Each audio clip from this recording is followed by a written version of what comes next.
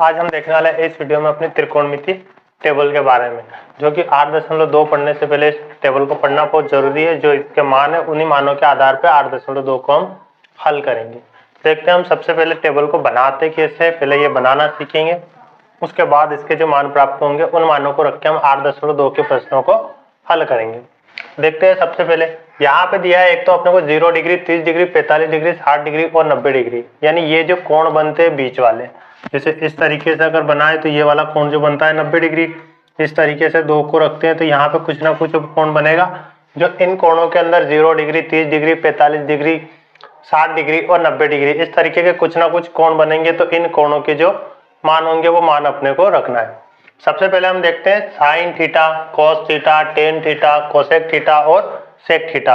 ये छह त्रिकोणमिति अनुपात है जिनके अपने को मान ज्ञात करने और मान सभी के ज्ञात करने साइन के भी सभी मान ज्ञात होने चाहिए। तीस डिग्री ज़ीरो डिग्री, तीस डिग्री, पैंतालीस डिग्री, साठ डिग्री और नब्बे डिग्री। इसी प्रकार कोस थीटा का भी ज्ञात होना चाहिए टेन थीटा का भी ज्ञात होना चाहिए कोसेक थीटा का भी ज्ञात होना चाहिए और सेक थीटा का भी ज्ञात होना चाहिए। बहुत ही आसानी से बना लेंगे। इस टेबल को ज़्यादा याद करने वाली कोई बात है नहीं। है यहाँ पे लिखा हुआ है ज़ीरो तो मैं यहाँ पे एक काम करता हूँ, सबसे पहले यहीं से गिनती स्टार्ट करते हैं। ज़ीरो, एक, दो, तीन और ये चार। इस तरीके से आपको चार तक गिनती लिखना है। ज़ीरो, एक, दो, तीन और चार। ये थीटा का मान है, इसमें कुछ नहीं लिखना है। यहाँ से लिखना स्टार्ट करना है, ज़ीरो, एक, दो, तीन और चार। फिर सबके बटे में हम लगाते हैं चार। सबके बटे में चार लिखना है। सबके बटे में कितना लिखना है? चार। यहाँ पे सबके बटे में चार। अब सबके ऊपर कर देता हूँ करनी।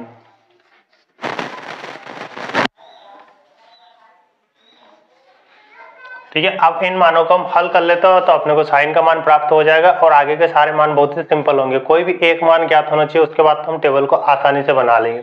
तो पहली लाइन जो बनेगी अपनी ज़ीरो बटे चार। जब कोई भी संख्या आती है और उसके बटे में ज़ीरो सॉरी ज़ीरो के बटे में कोई भी संख्या लिखी होती है तो उसका मान हमेशा कितना होता है? ज़ीरो ही होता है। क्या जी शून्य एक परिमेय संख्या है, इसे हम पी बटे क्यू के रूप में लिख सकते हैं? तो कक्षा नौवीं में क्वेश्चन था कि हाँ शून्य एक परिमेय संख्या इसे हम पी बटे क्यू के रूप में लिख सकते हैं। और वहाँ पर उदाहरण के लिए हम लिखते हैं। ज़ीरो बटे एक, ज़ीरो बटे दो, ज़ीरो बटे तीन, ज़ीरो बटे चार। इस तरीके के मान हमने लिखे थे। तो शून्य के बटे में चाहे कुछ भी लिखो, फिर भी उसका मान कितना होगा? शून्य। तो ये हमने लिख दिया, शून्य। अगला मान आता है एक बटे चार। क्या एक को कभी अंडर के अंदर या करनी के अंदर लिखा हुआ देखा है? तो एक को हमेशा कहा लिखा जाता है? बाहर। अगली बात करते हैं चार। तो चार किसका वर्ग था ये? दो का। चार का जैसे ही वर्ग करोगे क्या आएगा? दो। तो एक का मान तो कितना हुआ एक। और चार का मान कितना होगा? दो। यानी टोटल यहाँ पे कितना बनेगा? एक बटे दो। एक को हमेशा करनी से बाहर लिखा जाता है। जोड़े बना के बाहर निकालना है। तो एक को एक इंटू एक लिख दो। कोई दिक्कत नहीं है। हम जैसे इसको बाहर निकाल लेते हैं तो एक बाहर आएगा। यहाँ पे चार लिखा हुआ है तो चार को मैं लिख सकता हूँ। दो इंटू दो। कितना लिख सकते हैं? दो इंटू दो तो एक जोड़ा बनेगा और दो बाहर। यानी ये माना आएगा एक बटे दो। अगला आते हैं पैंतालीस डिग्री में। तो दो को चार से कैंसिल कर दो कि यहाँ पे कितना बचेगा? दो। और ऊपर कितना बचा? एक। तो एक को कभी करनी के अंदर नहीं लिखते तो एक को एक ही लिखेंगे। लेकिन यहाँ पे लिखा हुआ अंदर, जो नीचे की साइड में क्या बचा? करनी दो तो करनी दो को क्या बाहर निकाल सकते हैं? नहीं निकाल सकते। इस कारण करनी दो का मान करनी दो ही रहेगा। ऊपर दिया है करनी तीन। क्या करनी तीन को अंडर रूट के अंदर लिखा हुआ कभी देखा है? तो जी बिल्कुल देखा है। करनी तीन को अंडर रूट के अंदर लिखा जाता है क्योंकि इसमें कोई जोड़ा नहीं बनेगा। तीन इंटू तीन नहीं लिख सकते इसको, इसलिए किसे लिखे? करनी तीन का करनी तीन ही रहेगा। चार को हमने अभी देखा है। चार को जब करनी से बाहर निकालते तो कितना मान आता है? दो। तो यहाँ पे लिख देंगे दो। यहाँ पे चार को चार से कैंसिल कर दो तो यहाँ बचेगा कितना? एक। और एक को कभी भी करने के अंदर नहीं लिखा जाता, इसलिए एक का एक बनेगा। फ़र्स्ट वाला मान ही बनाना है बस। पहला दिया था ज़ीरो बटे चार। ज़ीरो के बटे में चाहे कोई भी संख्या लिखो, फिर भी उसका मान कितना होता है? ज़ीरो। एक बटे चार तो एक को कभी करने के अंदर नहीं लिखा जाता। और चार को चार जो करने के अंदर जो चार होते हैं, वो किसका मान होता है? वो दो का मान होता है। इसलिए यहाँ पे दो लिख देंगे। दो और चार तो दो से चार को कैंसिल करते हो तो ऊपर बचेगा एक और नीचे बचेंगे दो। एक को कभी करनी के अंदर नहीं लिखा जाता, इसलिए एक को बाहर लिखेंगे और जो दो है वो करनी के अंदर ही रहेगा। अगला दिया है करनी तीन बटे चार तो तीन को करनी के अंदर ही लिखते हैं। तीन अगर करनी के अंदर है तो उसे हम बाहर नहीं निकाल सकते, इसलिए तीन का तीन ही रहेगा क्योंकि यहाँ पे कोई जोड़ा नहीं बना। और चार को हम बाहर निकाल लेते हैं, चार किसका मान था? दो का। चार से चार कैंसिल कर दोगे बचेगा एक और एक की घात, चाहे एक लगाओ, दो लगाओ या दस लगाओ, कोई फ़र्क नहीं पड़ता। इसलिए हम एक इंटू एक लिख के एक को बाहर ही लिखेंगे। ये तो मान हुआ पहला। अब देखो दूसरा कैसे बनाते हैं। इसी मान को उल्टा लिख दो इस तरफ़ से। ये वाला जो यहाँ पर था, ये फ़र्स्ट में लिखेंगे। जो लास्ट से जो सेकंड है, वो यहाँ पर आएगा, करनी तीन बटे दो। फिर अगला मान यहाँ पे लिखेंगे एक बटे करनी दो। फिर यहाँ पे आएगा एक बटे दो। फिर यहाँ पे आएगा अगला जो मान था इसका ज़ीरो, वो यहाँ पे आ जाएगा। ठीक है? यानी कोस ज़ीरो डिग्री का मान कितना हुआ? एक। कॉस तीस डिग्री का मान कितना होगा? करनी तीन बटे दो। कोस पैतालीस डिग्री का मान कितना होगा? एक बटे करनी दो। कोस साठ डिग्री का मान क्या होगा? एक बटे दो। और कोस नब्बे डिग्री का मान क्या होगा? ज़ीरो। इस तरीके से हम पढ़ेंगे। अगली बात करते हैं टेन की। तो यहाँ पे टेन को बनाते हैं। अभी हमारे छह त्रिकोणमितीय अनुपात लिखना बाकी है। अभी मैंने पाँच ही लिखे, एक और हम यहाँ पे लिख लेंगे लास्ट में, जो कि टेन का उल्टा बनेगा। ज़्यादातर आपको बस तीन बनाने आना चाहिए कुल मिला के। एक भी बनाते सीख गए तो उसके बाद पूरी प्रश्न मतलब जो पूरी सारणी है, हम आसानी से बना लेंगे। कुछ भी याद नहीं रखना है, बस ये वाली लाइन अगर आपको याद है, तब भी आप पूरी सारणी बना लोगे। नहीं याद है, तब भी कोई दिक्कत नहीं है। ये बस ये वाली लाइन भी हम पूरी याद कर लेते हैं, तब भी हम बना लेंगे। दो कंडीशन होगी। अगला देखते हैं अपन टेन टीटा देखो टेन टीटा बराबर मैंने एक सूत्र पढ़ाया था, याद हो तो। टेन टीटा बराबर पढ़ाया था साइन टीटा बटे कॉस थीटा होता है। साइन थीटा बराबर क्या होता है? कॉस थीटा होता है। तो ऊपर रखते हैं साइन का मान। तो ऊपर साइन का मान कितना है? ज़ीरो और कॉस का मान कितना है? एक। और ज़ीरो के बटे में चाहे कोई भी संख्या लिखो, हमेशा मान कितना होता है? ज़ीरो इसलिए यहाँ पे कितना आएगा? ज़ीरो अगली बात करते हैं, फिर इसको भी इसी तरीके से लिखते हैं तो एक बटे दो, और एक बटे दो के बटे में लिखेंगे करनी तीन बटे दो। दो से दो गया तो यहाँ पे कितना बचा? एक बटे करनी तीन, यानी यहाँ पे बचा एक बटे करनी तीन। अगली बात करते हैं, एक बटे रूढ़ दो के बटे में लिखना है, एक बटे रूढ़ दो। ये क्यों लिख रहे हैं? साइन का मान ऊपर लिखना है और कोस का मान नीचे लिखना है सूत्र के आधार पर। एक बटे दो से एक बटे दो गया, यहाँ पे कितना बचेगा? एक। अगली बात करते हैं, करनी तीन बटे दो और यहाँ पे है एक बटे दो। तो इस दो से ये दो कैंसिल होगा, यानी ऊपर कितना बचा? करनी तीन। एक के बटे में जब ज़ीरो लिखते हैं, ठीक है, ज़ीरो के बटे में चाहे कोई भी संख्या लिखोगे तो उसका मान हमेशा कितना होता है?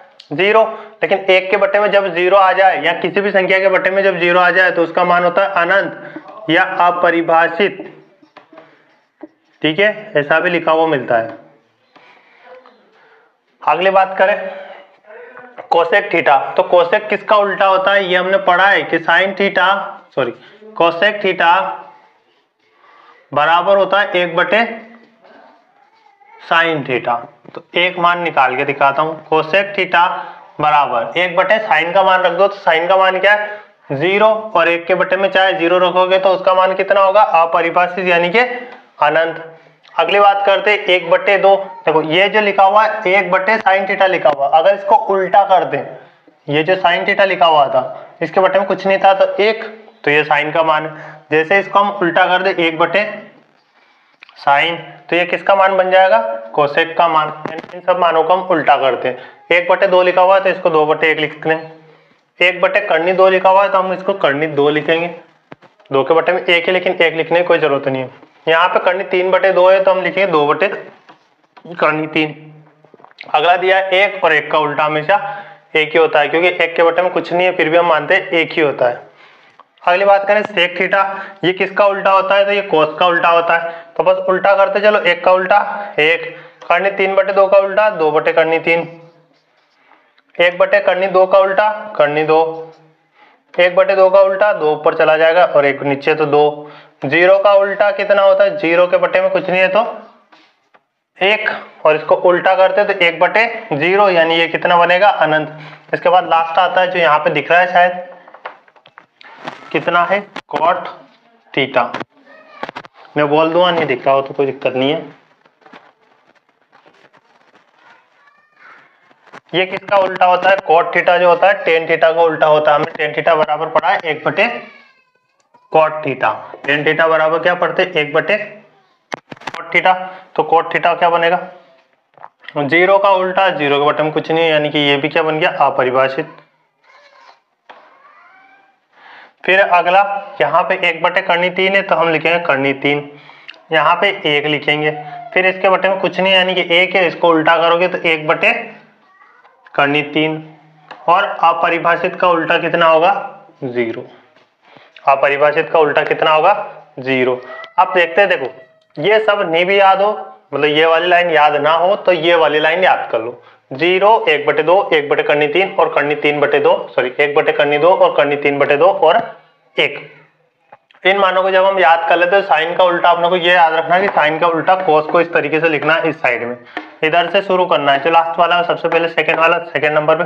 पीछे से सेकंड है वो। इस तरीके से इसको उल्टा लिखते चलोगे तो ये वाला मान बन जाएगा। टेन बनाने का तरीका मैंने बताया, इन दोनों को भाग कर दो। ज़ीरो के बटे में एक एक बटे दो के बटे में करनी, तीन बटे दो, एक बटे करनी, दो के बटे में एक बटे करनी, दो। और करनी तीन बटे दो के बटे में एक बटे दो और एक के बटे में ज़ीरो तो टेन का मान मिल जाएगा। आगे सारे मान सिंपल कोसेक थीटा कैसे बनेगा? इस मान को उल्टा कर दो। ज़ीरो के बटे में कुछ नहीं यानी एक और एक के बटे में जब भी ज़ीरो लिखेंगे तो इसका मान कितना होगा? अपरिभाषित। एक बटे दो लिखा हुआ है तो दो बटे एक लिख दो। एक बटे करनी दो लिखा हुआ है तो दो, रूट करनी दो बटे एक लिख दो। करनी तीन बटे दो लिखा हुआ है तो दो बटे करनी तीन लिख दो और एक का उल्टा एक ही होता है। फिर इस मान को चाहो तो इस तरीके से लिख सकते हो। ये वाला फ़र्स्ट आएगा, ये वाला सेकंड आएगा, ये वाला थर्ड आएगा, ये वाला फोर्थ और ये वाला फिफ्थ या चाहे तो इसी को उल्टा कोस से किसका उल्टा होता है? कोस का उल्टा। एक का उल्टा एक ही होता है, करनी तीन बटे दो का उल्टा, दो बटे करनी तीन, एक बटे करनी दो। तो यहाँ पे बनेगा करनी दो बटे एक एक बटे दो का उल्टा, दो बटे एक और ज़ीरो का उल्टा अपरिभाषित। कोट वाली जो लाइन आती है, चाहो तो दो तरीके से लिख सकते हो। ज़ीरो के बटे में कुछ नहीं है तो एक और एक को उल्टा कर एक बटे ज़ीरो बनेगा तो अपरिभाषित। या इसको इस साइड से लिखना स्टार्ट कर दो। अनंत का अनंत, करनी तीन करनी तीन, एक का एक एक बटे करनी तीन, एक बटे करनी तीन और ज़ीरो का उल्टा ज़ीरो। बस ये वाली टेबल याद करनी है। इसके बाद हम इसकी प्रश्न वाली के जो क्वेश्चन हल करेंगे। अगर ये वाली टेबल का मान ज्ञात है तो हम प्रश्न वाली के क्वेश्चन आसानी से कर लेंगे इससे ऑब्जेक्टिव भी बनते हैं, जो कि मोस्ट इंपॉर्टेंट है। पूरी टेबल जो है मोस्ट इंपॉर्टेंट है, क्योंकि इससे क्वेश्चन भी बनता है और इससे ऑब्जेक्टिव भी बनते हैं जो एग्ज़ाम में आते हैं। तो तब तक जब हम प्रश्न वाले स्टार्ट करें, तब तक अपने को ये सारे मान याद होने चाहिए।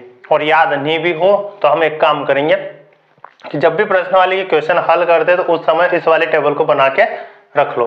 और इसमें देख के हम बार बार मान देखेंगे तो इससे क्या होगा, अपने को याद हो जाएगी अच्छे से। और इस प्रश्नावली के क्वेश्चन वैसे सिंपल है, बस मान रख के हल करना है। तो मिलते हैं प्रश्नावली के वीडियो में, तब तक के लिए बाय टेक केयर जय हिंद।